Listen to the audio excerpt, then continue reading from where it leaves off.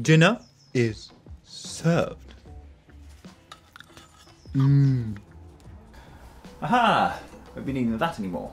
So, this is my Aciera F4 milling machine. It's from the 1960s and it's now CNC. So, it's featuring ball screws on X and Y axis as well as servo stepper motors on both X, Y, and Z.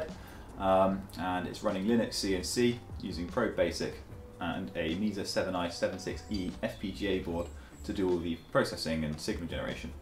It's, um, it's got a lot of features that a much more advanced machine would be found with, um, considering this was just a very manual machine that you had to really know what you're doing to use previously, and I wasn't willing to learn all that. So yeah, now it's got things like touch probes and those are other cool features to make useful parts.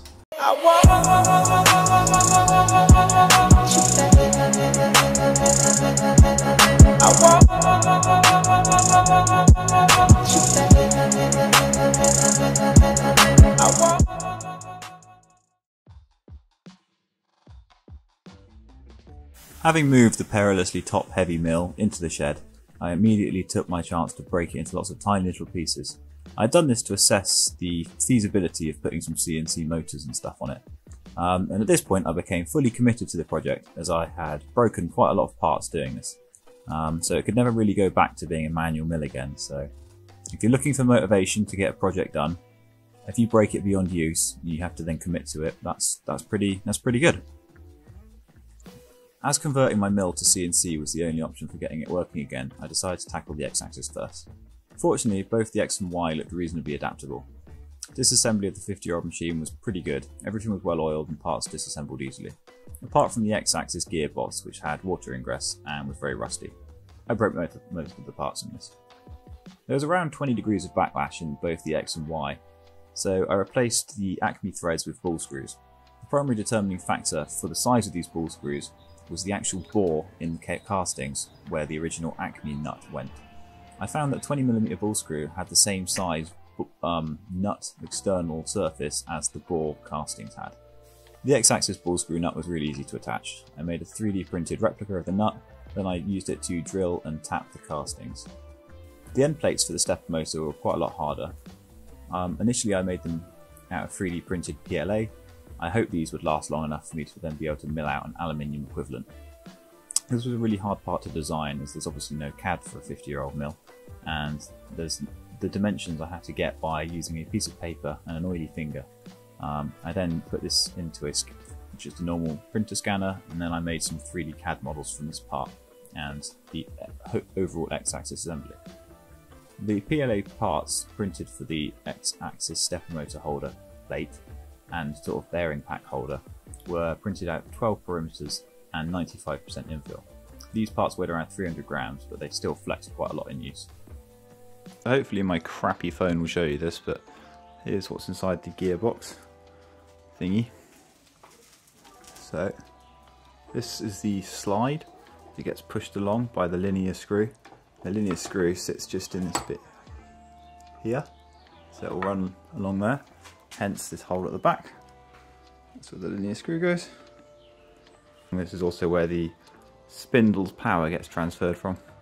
Um, but now what I've got to do is get all this out because I need to readapt this big casting to fit the new ball screw.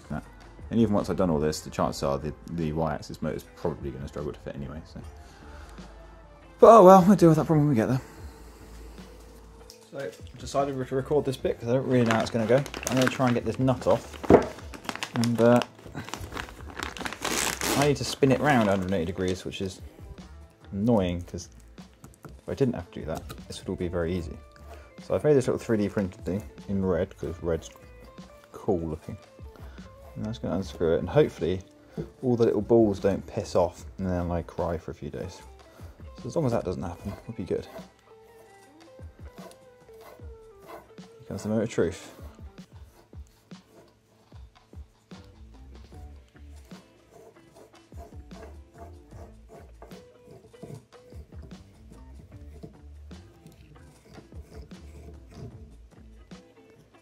Are on.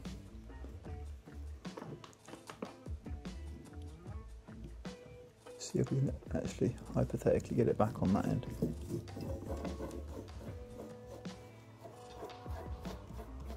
cool. It works. Now I can print the end caps so that when I do what I just did then, it doesn't feel like it's going to fall off straight away because that felt like it's going to fall off straight away. For the y-axis ball screw to mount to, this part was machined up. Um, it features a hole for the bearing pack to mount in, which then holds the ball screw, and it screws into the original casing of the mill. So this worked out really nicely.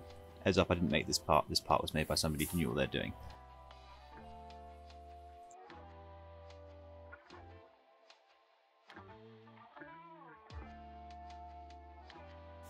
So now you can see that the ball screw bearing pack has been screwed into the casing of the mill. A tiny notch was cut out, so this helps to both locate it and also it was fouling, so it was it was kind of a good thing actually. I then made the mounts for the stepper motor to attach to. So these were primarily done on a lathe, and a bit of 3D printing was used to make some little joining brackets because I couldn't actually get all four standoffs to mount on the casing as I'd liked because of different features on the mill. So I had to come up with this sort of wacky arrangement. I also 3D printed a big jig, which was used to mark out where to drill the holes with because I am bad at getting holes in the right place and I can't really screw it up too much if I have a big 3D printed jig. So that concludes the conversion of the X and Y axis hardware. The Z axis was fairly easy in comparison. As all the force is acting downwards on the lead screw, there's very little backlash, so I didn't need to change it out for a ball screw. I mounted the stepper motor parallel to the drive axis, and I connected the two with a timing pulley. This was quite fun because to mount the pulley to the shaft, where the handle used to be, they used to use a tapered pin. So I machined a 5mm hole in the side of my pulley and then used a tapered reamer to match the hole of the existing feature on the mill. This was my first ever time using a tapered reamer and it was really good. It left a very tight tolerance part um, because you can taper it in place with all parts in situ. So this worked really nicely and has been working well. After the primary hardware for the X, Y and Z axis were all complete, I added limit switches to each. The limit switches were inductive, and I simply mounted them using some little 3D printed brackets on the original rails where sort of stuff used to mount previously. Once this was done, it was time to finally assemble everything and put it into the corner of the room where I could then begin on the wiring. To connect the three phase components to the single phase AC I have available, I used a rotophaser and this rotophaser then gives out three phase into this big breaker switch here which is permanently left on um, because I don't have a way of flicking it. um, also neutral there as well and then that connects to the MCBs there's a switchable one here which is used to turn a transformer on and off so the transformer is used to supply the voltage for the relay that's used to control the coolant pump the big contactor thing And then back there's the VFD that's used to control the main motor spindle.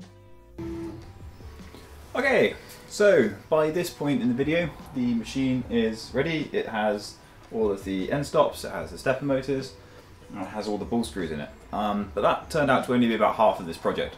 So the next big chunk of stuff to do was get the control working, like all the stepper motor drivers, and getting the FPGA board to work, and installing Linux and running all of the programs for that.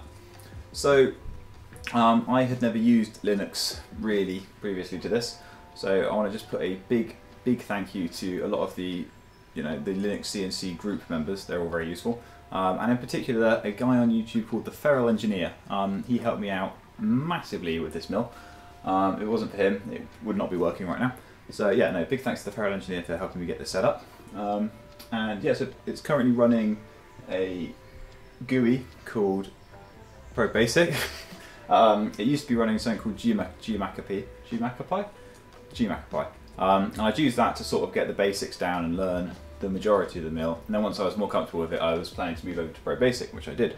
And this has proved to be a really, really good program. Um, it enables you to use things like this, Touch Probe, um, and make the most of that. So I'm able to reference off pre-existing parts and machine things that I wouldn't uh, be, like be able to do otherwise. So yeah, I'm really enjoying using that. Um, but a lot of work was spent trying to get things like this handset working, so I can now move around axes. Um, So if we go into that, we've got full control of everything via this MPG. Um, and yeah, it's got a lot of features that uh, you know a more expensive milling machine would have. So I'm, I'm quite happy with how it's turned out. Um, if you want to see more videos regarding this machine or potentially how I went about assembling that big box of Doom there, then let me know. I can do those. Um, but otherwise, this is kind of the state it's currently in. It will be upgraded more in the future. Um, I want to get a of ice. Um, this one currently, I have made the soft jaws for it, and we'll be making some some fixture plates soon when I have some material. Um, and I'd also like to get the spindle encoded, it's because that would be quite useful.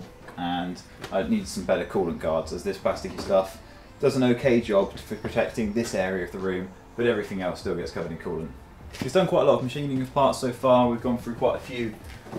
These bins of mainly aluminium, but it's done some steel. And at one point, I inadvertently went through a stator plate that had a magnet in it, which I learned that magnets break bits as the chips can't ev- evacuate anywhere.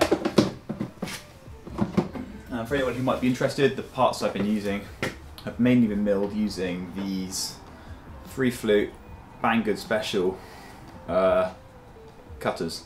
Um, I've been using these for aluminium primarily, and they've actually been really, really good. I've been really happy with the results. I don't have much to compare it to, but for what I can afford, they seem really good. Um, there's also the four flute bits they do, which I've been using for the more like steels and stuff like that, um, and they've been working nicely as well. So yeah, I found that will go fairly smoothly. And yeah, so here's my here's my 1960s milling machine, which is now CNC. I hope you enjoyed the video. Um, I'm working on some other interesting projects at the moment, such as some Beetle aircraft and my version of Koenigsegg's free valve engine on a little 125. So if you'd like to see those videos, then let me know and I can make information about them. Um, but otherwise, yeah, thank you very much for watching.